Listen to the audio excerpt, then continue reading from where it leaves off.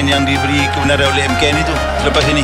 Baik ini dia mungkin uh, saat yang ditunggu oleh uh, ramai peminat bola sepak Malaysia. Syarul Saad akan dimasukkan menggantikan uh, Natsu Insa.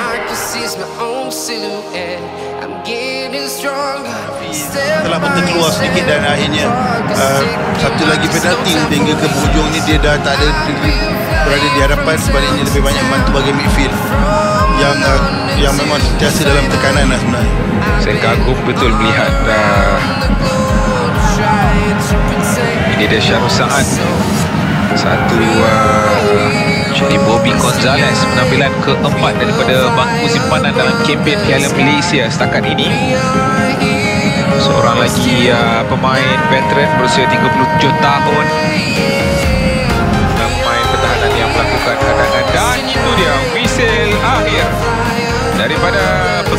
perlawanan. Menandakan berakhirnya perlawanan keempat.